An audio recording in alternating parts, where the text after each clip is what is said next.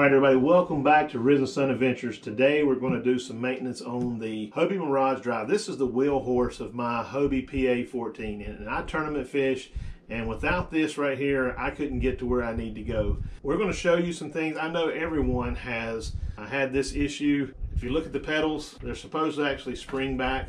I know a lot of people, it has when it when you get the Hobie drive, it comes with little straps that you put your foot up in. I mean, they're really nice. They look really good, but I mean, we got big feet, fellas. I mean, when we're out there on the water, we're trying to get to things fast, and we want our pedals to pop up. We want to put our feet on the pedals, and we want to take off. So if you look for the years that I have had this drive, I make sure to keep it clean. I make sure to keep it greased. I make sure to make sure my fins are wiped down. Uh, before I take it out on the water, I make sure that my um, all my pulleys, my chains, everything is is lubed up. I take care of this drive.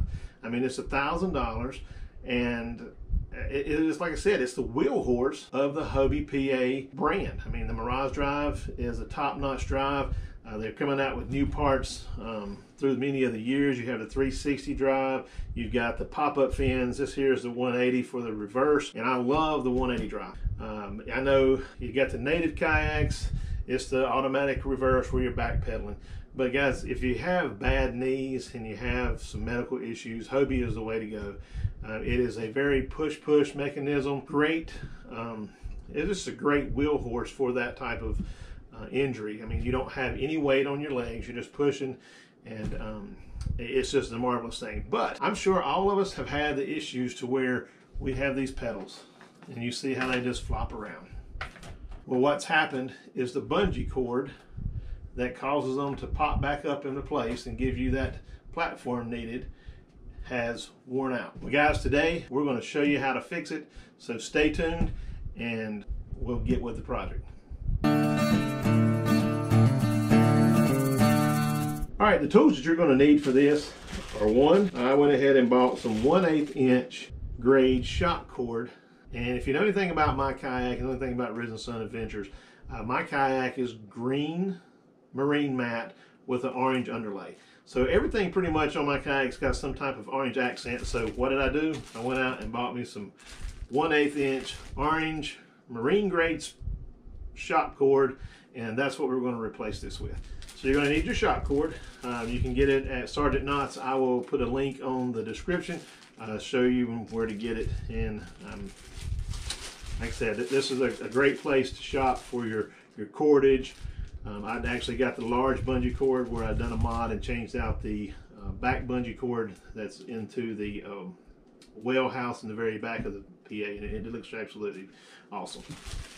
You're going to need an Allen wrench set because you're going to use the 964th because both of these little pins up here are Allen screws. So you're going to need a 964th Allen wrench. A small pair of scissors to cut your paracord. And you're going to need some this is a waterproof caulk seal. This is the Gorilla Seal, and all I'm going to use this for is to seal inside to where that little cord is so that it actually just gives it something to grip onto. And those are the tools you're going to need. And you can also get you some type of little towel just to wipe down stuff. Uh, make sure you check and wipe down all of your your parts. And while you're doing small maintenances to your drive, make sure you're checking out some of the other stuff. Make sure everything is moving freely. Uh, check your, your pull tabs. Uh, you want to check and make sure that your chains are tight. Make sure your nuts and stuff are tight. Usually when I go out, after probably about six, seven times, I usually make sure I do a quarter turn on each one of those just to make sure that I'm safe on the water. So let's get to it and uh, let's show you how to take this thing apart. All right, so the first thing we want to do, we've got a 9 64th Allen wrench, and we want to unscrew this Allen bolt right here.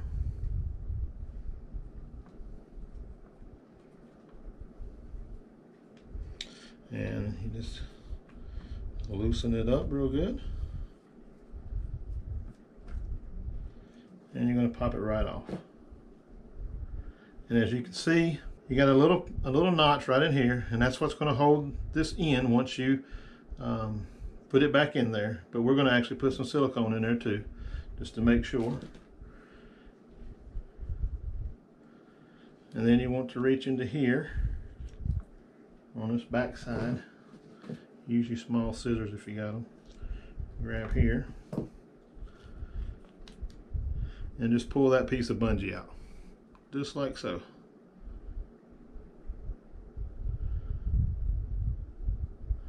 And then we're going to take a piece of bungee.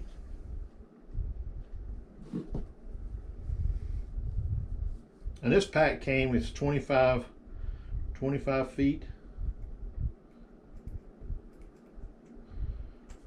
So cut you off a pretty good length there. And then you're going to come right in here.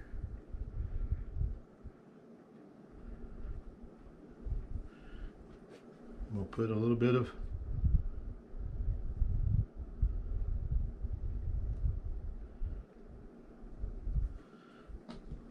silicone in there.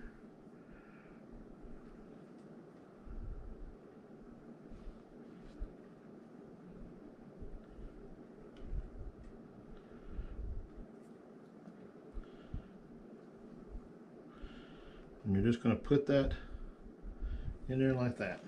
And then if you look right here, this right here has a notch on it. Let me show you. It's got a notch right here. And that piece of bungee will just lay right in that notch. So you'll put that back in there like that.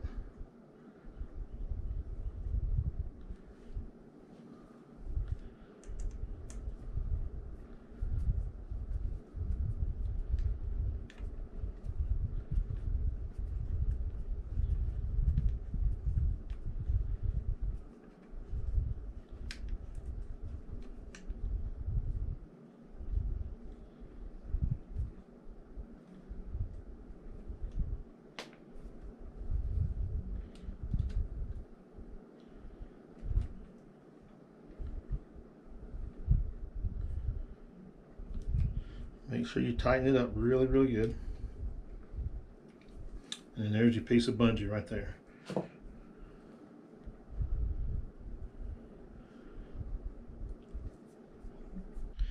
right, once you got your piece of in, bungee cord in there, I notice when you cut it, uh, it's going to fray a little bit. So go ahead and take your lighter and wet, heat seal, heat that up.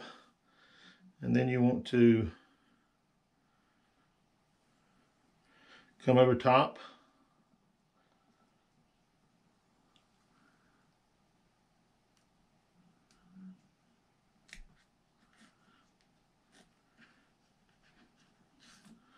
Thread your bungee through.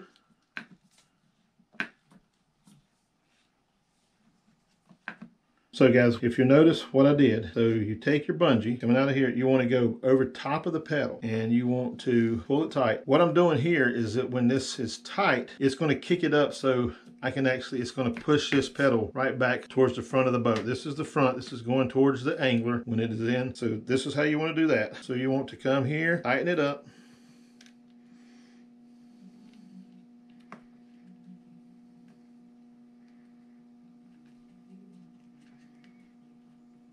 tie you a little overhand knot. Like I said, you want to tighten that up really good. Move that knot down there.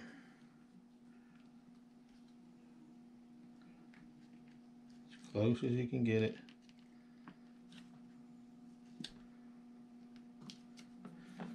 And see, that's going to be too loose. So you don't want that. So now you want to make sure that you Come back a little bit further, tighten it up some more, and you just keep working at it until you get it to where you want it. All right guys, that's how you want it. You want it tight enough to where it's going to pull, pull that back up. Boop, going to pop it right back up. So you'll start out, tie your knot, tie another one in there, come back in after you get it the way you want it. Boop, pops right up. And you want to come back in here, go ahead and trim off your edge, right in, heat seal it, and then it's done. and you go do the same thing to the next one. All right, guys, you can see with just a little bit of work, a little bit of bungee, pedals are back to there. And like I said, make them match your kayak. Uh, there's tons of options out there. Uh, I know Sergeant Knots has tons of colors. Make sure you check them out. Make sure you look at the description below. Guys, thank you for stopping by the channel. Like I said at the beginning, make sure you hit that like and subscribe button. It's the only way I can grow. 373 at this time.